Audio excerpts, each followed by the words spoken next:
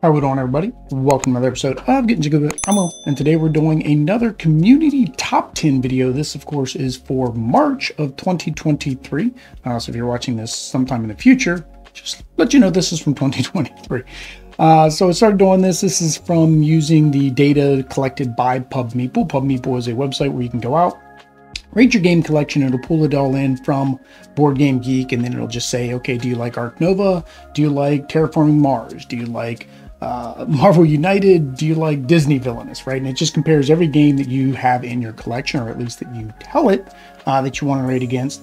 And then it puts it all together as, well, here's your number one game, here is your number 100 game. Uh, so what I do is I take the top 100 games uh, that were rated on PubMeeple for the month for the month for the month of February and March. Uh, compare them. I have that in a separate video called the Buzz or Community Buzz, uh, but this is just what was rated. Okay, so number 10 is, is Eclipse Second Dawn for the Galaxy. Uh, it is uh, currently ranked about an 8.5 on Board Game Geek with 22 overall. So a very popular game. Uh, it's basically a game where you are trying to control a civilization uh, and you're competing with the other players while you're exploring new star systems, finding new technology, uh, building up your spaceships. So it almost to me seems like a 4X. I've never played it, so I can't really, uh, you know, say anything about that. Uh, I do know that it says there is some dice rolling, uh, there's miniatures, things like that. I think this one is showing up uh, this month because they did announce some additional expansions that'll be coming out for the game. So some people are probably getting it to their table more often right now to see, you know, do they want to get these new expansions or is the game just not for them? Well, with this kind of ranking, uh, I would say people are probably going to be picking up those expansions when they come out. So number nine is Pax Pamir Second Edition. Um, so this one is rated just as highly uh, on Board Game Geek. Uh, this one is a uh, you're going to be in an Afghan leaders attempting to forge uh, new states after the collapse of the Durrani Empire. Um, so this one here is an area movement, uh, area control style game uh, where players are basically just trying to gain that dominance over the areas. This is the second edition. So of course, similar to uh, Eclipse, it is the more revised edition. This is the one that people are rating and ranking. Um, no, it was I do know it was on the top 25 games last year, the top video I did for last year's rankings. So I imagine this one is just showing up now uh, because it's set, settling into its place of where it will normally be at the end of the year. All right, so number eight is Everdell, specifically Everdell the Complete Collection. So I don't know if the regular Everdell will be rated as much anymore, um, just because most people that had Everdell probably had everything, probably switched over to the complete collection, and that's what they're ranking on uh, PubMeeple. One thing the Pub PubMeeple doesn't do, which is very similar to the BGG, it doesn't distinguish between the different versions. So I'm just using what's currently listed, which people are rating the complete collection. So Everdell, of course, is a tableau building game where you're sending out your little forest meeples to collect resources so then you can build different uh, buildings in your town, bring in some additional uh, little critters and then you activate those, a little bit of engine building as well to get the most resources, get the most victory points at the end of the game. Um, but that is Everdell. Imagine it's going to be an evergreen. It's going to be around for a while uh, on this ranking.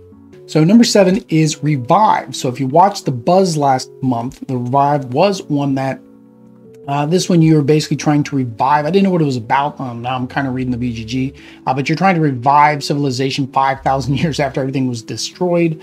Um, it is a deck bag and pool building game. Uh, what else has got? It's got tech trees, variable player player powers. This seems like a perfect game for me and Adler to play. It does have a little bit of a higher weight, 3.41. We we are playing some threes to three and a halfs.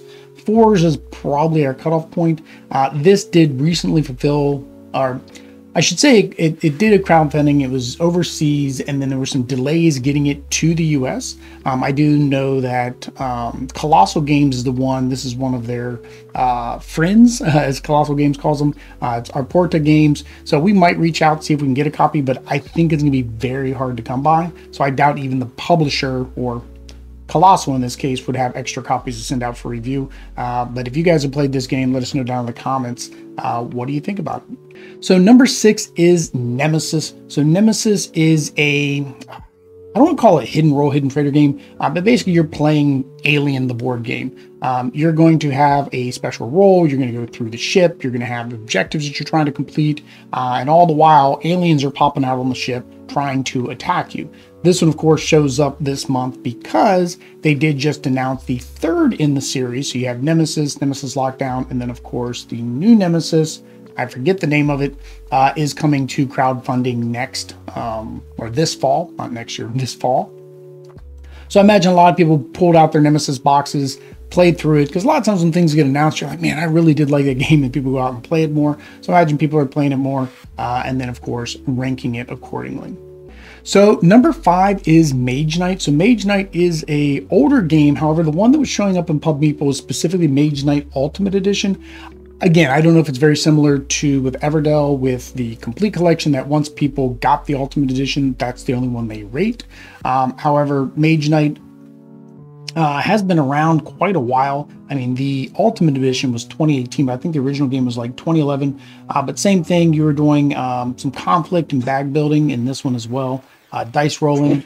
Um, basically, you are taking elements of an RPG game uh, and standard board games, it says, and you're putting in control one of seven powerful mages. You explore and conquer the corner of the Mage Knight universe uh, under the Atlantean Empire.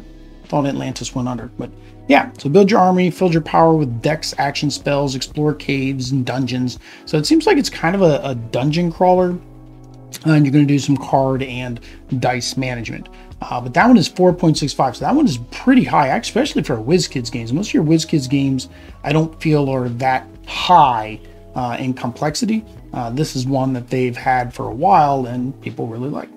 So number four is another second edition or second printing. This is Great Western Trail second edition. Um, the Argentina just came out and they did just mention the new Australia, um, or is it New Zealand? I think it's New Zealand uh, version that's going to be coming out. So I think same thing with this, as I mentioned last month, is a lot of people are trying to play this game to see do they want this or do they want the new versions. So a lot of times, a lot of people, of course, will use Pub Meeple to rank similar games together to say, out of these similar games, which one do I want to keep? Right now, Great Western Trail, at least the second edition, is winning. Great Western Trail is a deck building racing style game. You're trying to uh, build a deck of cards, herd some cattle, uh, and get them sold on the market. We like deck building games. This one, I mean, I think the only thing with this one is the theme wouldn't do it much for us. But maybe if we played the Argentina version, of course, because Oddities from South America, Colombia specifically, so maybe that one would have a little bit better feeling of a theme for us. But that is Great Western Trail. Number three shouldn't be a surprise, but unfortunately, it's kind of a surprise where it's sitting, and that is Brass Birmingham. Uh, Brass Birmingham, of course, is the number one game on Board Game Geek right now. Um, it is a economic strategy game where you are uh, an entrepreneur and you're during the industrial revolution and you're basically trying to develop and build uh, the industry and your network uh, for higher demands standard euro right you're going to build you're going to sell things you're going to then of course get the most victory points uh, to win the game. At least I think it's victory points. This doesn't say what you do to win the game. Uh, but again, very much liked 3.9, so it's not too complex. Uh, it is something I would like to try.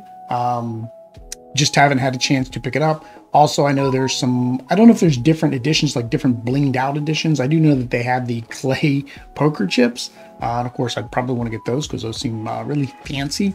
But it'd be kind of bad to get a game like this, not like it, and then bling it out. But that's that's that's how things are. That's how that's how FOMO works. So number two is another game that has come out recently and is climbing through the ranks of Board Game Geek pretty quickly, and that is Dune Imperium. So Dune Imperium, of course, based off of the Dune IP, is a deck building game, uh, resource management game where you are trying to buy and sell and do influence uh, against the different houses and collect spice. Uh, haven't watched the movie. Do need to watch the movie. Once we do that, maybe that would encourage me to get this. Um, currently, we do have Ark Nova. We still need to play, which this and Ark Nova are being compared uh, to each other. So this may be another reason why this one, besides it ranking highly overall on, on Board Game Geek, it's number 10. I think might be a little bit of that. Do I like Ark Nova? Do I like Dune? Do I like Clank? Do I like, you know, you're comparing all your deck building games, and this is the one that comes out on top. Um, that is Dune Imperium. All right, and the number one game is the same number one game as it was from uh, last month. That is Ark Nova. Ark Nova is a game where you're trying to uh, manage a zoo. So you're going to be playing card actions, building an engine to get money and, and finances. Uh, you're going to collect animals to your zoo, which is also going to get you resources, uh, get sponsors to help you raise money for your zoo, uh, and so forth. We were told this we would probably like better than our and than terraforming Mars. So I do have a copy of Ark Nova. We'll be playing that um, Terraforming Mars, as well as another game which I feel is going to be rising pretty quickly in the ranks, and that is Earth. So we'll be playing all three of those on the channel to kind of compare and see which one we like better, because those are kind of getting compared to each other. So if you want to be able to see that content, make sure you hit that subscribe button. That way you know when we publish those videos. There we go, guys. That is the top 10 for the month of March 2023. Um, if you want to be able to contribute to this, all you need to do is go out to PubMeeple, rank your games, whether you want to do it monthly or whether you want to do it, you know, whenever. Uh, just go ahead and use their little, um, I want to say app, but it's not an app. Just use their website, rank your games, uh, and see if any of these make your top 10. Until next time, guys. Peace.